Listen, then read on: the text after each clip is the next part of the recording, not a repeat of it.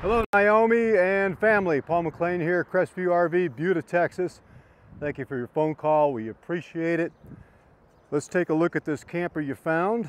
This is a 2018 Jayco 28 BHS. I thought I'd show you the roof. Something you don't get to see very often, but is very important. This one is just fine. Jayco is actually famous for their roofs. Their strut, strut system, strut system is top notch.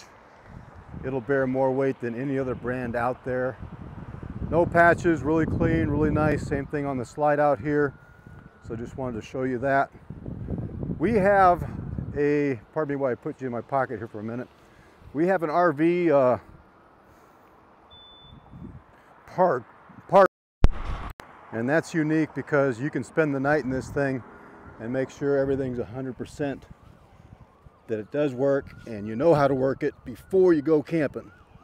That's pretty slick. The most frustrating thing you can happen, have happen is go camping and find out something's not working you didn't know about. So we can eliminate that possibility here. This will have an outside shower. It'll have little storage there. There's your 50 amp cord. It's a 50 amp camper with two ACs. Here's your outside shower. It probably has a grill somewhere that attaches to this, but I'll have to find it.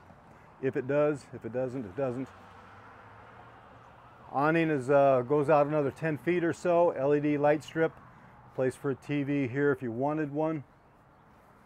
We'll fill up your propane bottles for you. You'll have two 30 pounders. Electric tongue hitch.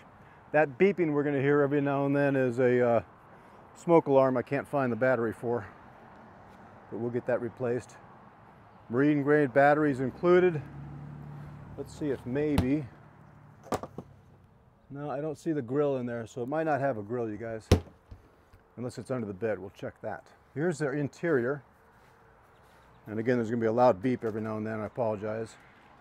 So nice accent lighting behind the couch that'll make into a bed. There's that beeping. Where is that thing? It's not annoying at all. I can't find it. Anyway, that's usually a wraparound dinette, Naomi.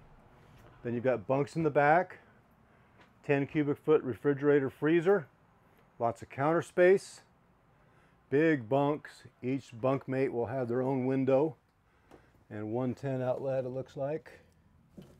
Yep, that's excellent. Big pantry, closet here. Lots of pantry space though.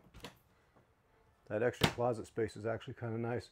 This has got what I think is ingenious. They stopped doing it. I don't know why, but it's either a mirror where you can see an old salesman or flip it around and there's your TV.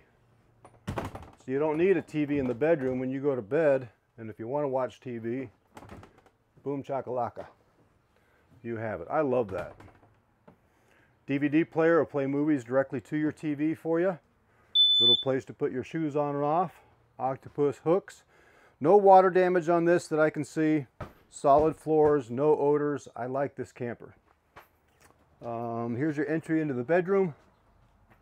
Second AC is right here. Television. Lots of storage. And the last chance for that grill, if it would be under this bed. Man, they put an aftermarket mattress on here that's heavy as heck. Oh, still goes up, good.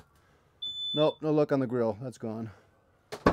This has not been cleaned up yet, so it will be. It'll go through about four hours in detail once we find somebody that wants to buy her.